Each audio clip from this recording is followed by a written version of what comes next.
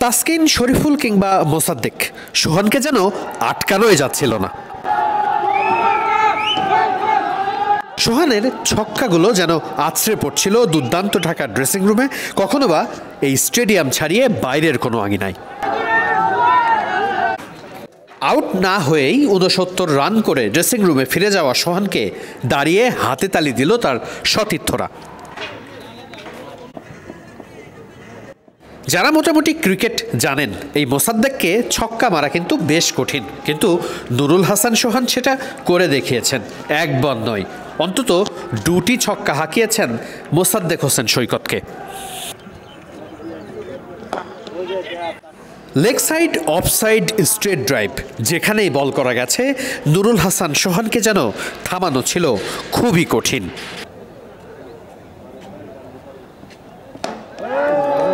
যে ছয়গুলো সোহান হাঁকিয়েছেন, সেই ছক্কাগুলো মোটেও ছোটোখাটো কোনো ছক্কা ছিল না। বেশিরভাগ বলগুলোই পেরিয়ে গেছে মাঠেরও সীমানা। থেকে বেশি চোখে লেগেছে তাস্কিনদের মতো বলারদের কীভাবে মেরেছেন সোহান? সতীর্থ শামীম হোসেন পাটোয়ারিকে সাথে নিয়ে যে দুর্দান্ত ইনিংসটা খেললেন সোহান, তাতে তিনি ব্যয় করেছেন তেতাল্লিশটি বল। চারটি ছক্কার সাথে মেরেছেন ছয়টি চার।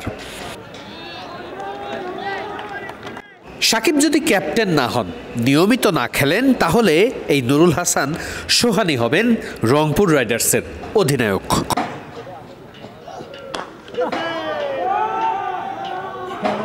নিজেদের ঘরের মাঠে।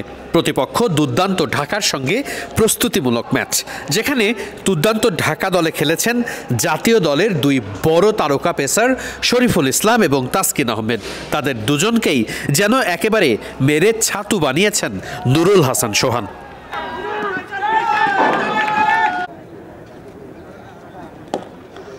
শুধু চার কিংবা ছক্কা নয়। নুরুল হাসান সোহান বেশ ডট বল না খেলে সিঙ্গেলও বের করার চেষ্টা করেছেন। শুরুর দিকে কিছুটা স্লো খেললেও সময়ের সাথে সাথে নুরুল হাসান সোহান সিঙ্গেল বের করেছেন। সুযোগ বুঝেই বাউন্ডারি আদায় করেছেন। টি টোয়েন্টি ব্যাটসম্যান তো একেই বলে।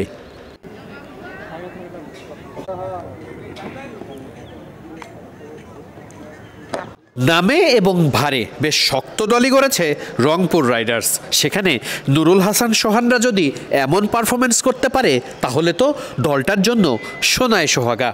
বসুন্ধরা স্পোর্টস কমপ্লেক্স থেকে ওয়াহেদ মুরাদ, মিডফিল্ড।